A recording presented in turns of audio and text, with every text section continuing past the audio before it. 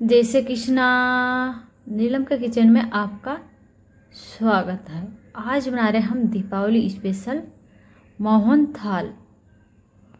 मोहन थाल बनाएँगे हम अलग तरीके से। ना तो मावा डालेंगे, ना मिल्क पाउडर डालेंगे। वो एकदम दानेदार और मुँह में जाते घुल जाए, इतनी ज़्यादा टेस्टी बन के तैयार होएगी। तो चलो बनाते हैं मोहन थाल बर्फ़ी।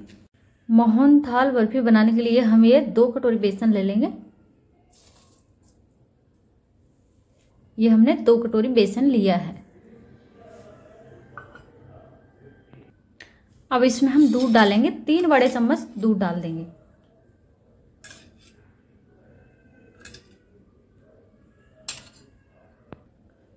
अब डालेंगे हम घी। तो घी भी हम तीन बड़े चम्मच डाल देंगे। घी और दूध हमें बरोबर लेना है।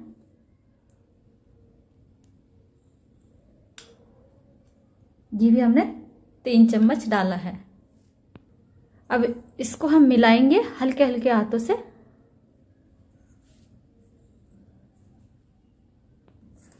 ये देखिए, हमने बेसन और घी और दूध को अच्छे से मिला लिया है। ये देखिए। तो इसे हम 10 मिनट की रेस्ट के लिए रख देंगे। ये देखिए 10 मिनट हो चुकी है। अब इसे हम ग्राइंडर जार में डालकर पीस देंगे। वैसे इसे ज़्यादा देर नहीं पीसना है दो या एक बार चलाना है, मिक्सी को ज़्यादा नहीं चलाना है।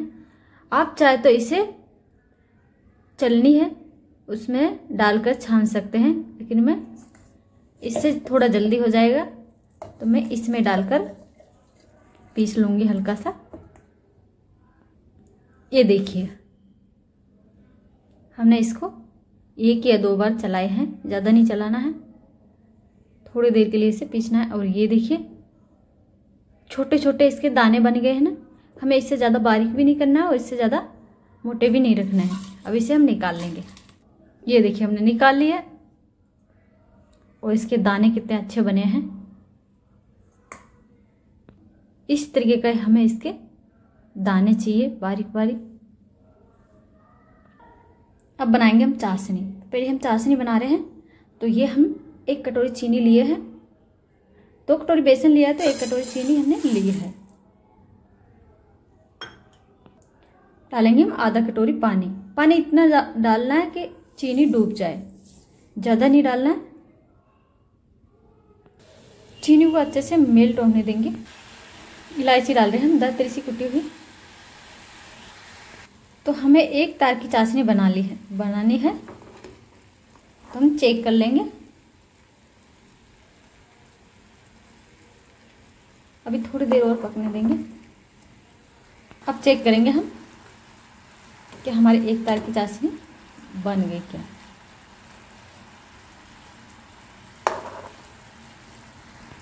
ये देखिए, एक तार बनने लग गया है। ये देखिए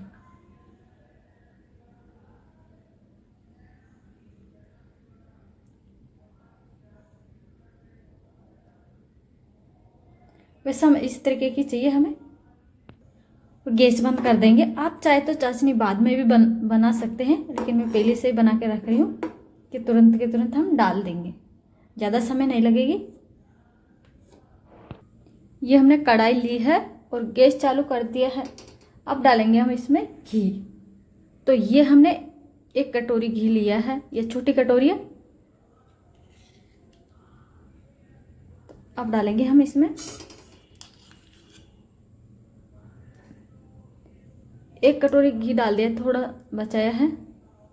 और इसे हम घी को मेल्ट होने देंगे। घी हमारे अच्छे से मेल्ट हो चुका है। अब डालेंगे हम हमारे बेसन। जो हमने पहले से तैयार करके रखा था। इसको हम मिला लेंगे। इसे हम चलाते रहेंगे, छोड़ना नहीं है, और इसे हम धीमी आँच पे ही भूंज लेंगे। ये देखिए, हमको बेसन को भूंजते हुए चार से पाँच मिनट हो चुकी है। और इसका हल्का सा कलर भी चेंज हो गया है। अब डालेंगे हम जो घी बचा के रखा था, वो डाल देंगे।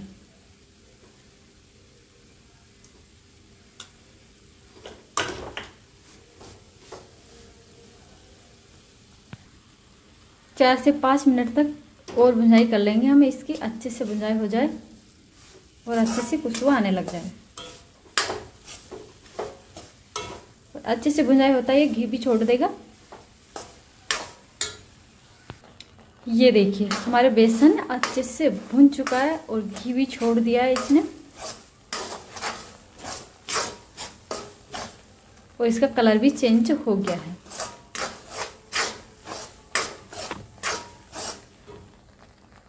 तो इस मौन थाल में हम मावा नहीं डालने वाले, मिल्क पाउडर नहीं डालने वाले। हम डालेंगे इसमें एक कटोरी दूध। थोड़ा थोड़ा करके डालेंगे एक एक चम्मच दूध डालते जाएँगे और मिलाते जाएँगे। एक साथ में नहीं डालना है सारा दूध?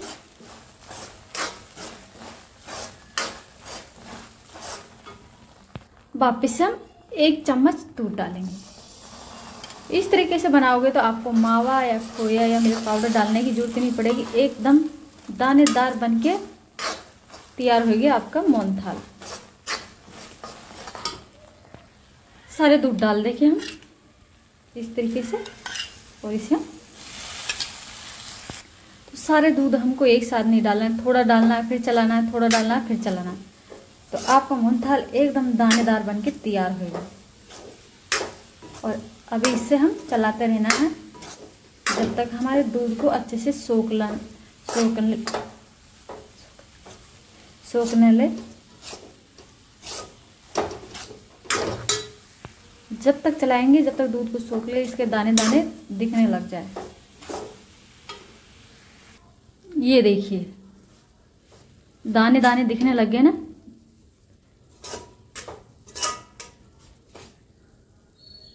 ये देखिए, सारे दूध को हमारे सूजी ने सोख लिया है और वापिस से इसके दाने दाने दिखने लग गए। इस तरीके से बनाओगे तो आपके मोन थाल बर्फ़ी दानेदार बन के तैयार होगी आप कोई बता ही नहीं पाएँगे कि आपने घर में बनाई। अब डालेंगे हम चाशनी, जो हमने पहले से बना के रखी थी।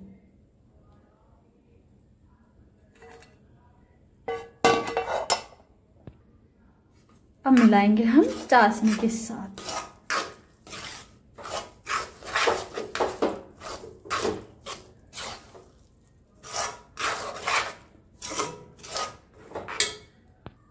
ये देखिए, हमने बेसन और चाशनी को अच्छे से मिला लिया है। एक मिनट के लिए इसे हम, एक मिनट के लिए और पकाएँगे कि हमारी बेसन सॉरी चाशनी को सोखने ले। हल्का सा ज़्यादा देर नहीं चलाना है। और ये देखिए कितने दानेदार दिख रहे हैं। दाने दाने दिख रहे हैं। ये देखिए, एक मिनट तक हमने इसे वापिस से भूंज लिया है, पका लिया। अब ये हो गई है बर्फ़ी जमना लाइट अब इसे हम ज़्यादा नहीं पकाएँगे। गैस बंद कर देंगे। मैंने ये थाली ली है और इसके हम घी लगा लेंगे। ये देखिए हमने निकाल लिए है। और कितने दाने दिख रहे हैं इसमें। इसे हम सेट कर लेंगे। ये देखिए हमने सेट कर लिए अब इसे हम ठंडा होने के लिए रख देंगे। इसे हम एक से दो घंटे के लिए ठंडा होने के लिए रख देंगे। आप चाहे तो इसको फ्रिज में रख कर भी ठंडा कर सकते हैं। फिर मैं फ्रिज में रखूँगी, ऐसे ही इसे ठंडा होने देंगे। ये देखिए हमारी मोन थाल बर्फ़ी अच्छे से सेट हो गई है। अब इसे हम कट कर लेंगे। इस तरीके से हम कट कर लेंगे।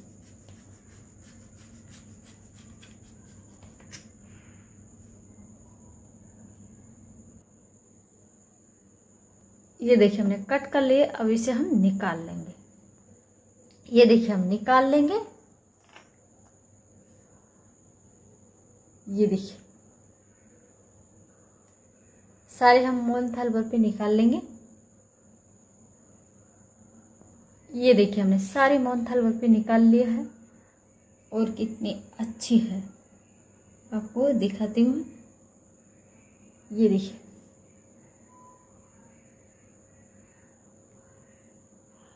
दानेदार बन के तैयार हुई ना? तो अब इसमें हम पिस्ता लगा देंगे हल्का हल्का। हमने इसे पिस्ता से सजाई है आप चाहे तो चांदनी के बर्क से भी सजा सकते हैं। तो फ्रेंड, ये हमारी मोहन थाल बर्फ़ी बनके तैयार है। मैं आपको एक बर्फ़ी तोड़ के भी दिखाती हूँ। कितनी जानेदार बन के तैयार हुई है। ये देखिए। बता ही नहीं सकते ना कोई कि इसको आपने घर में बनाई है। ये देखिए। तो इस मौन थाल की एक खास बात है, इसको 10 या 15 दिन के लिए बनाकर रख सकते हैं, बिल्कुल भी ख़राब नहीं होएगा। तो फ्रेंड, इस तरीके से बनाओगे तो आपके मोहन थाल भी एकदम दानेदार बन के तैयार होएगा। बिल्कुल मार्केट जैसे कोई पता ही नहीं पाएगा आपके मेहमान घर वाले कि आपने घर में बनाया इस मोहन थाल को। तो आज की ये मोहन थाल रेसिपी कैसी लगी कमेंट करके बताना।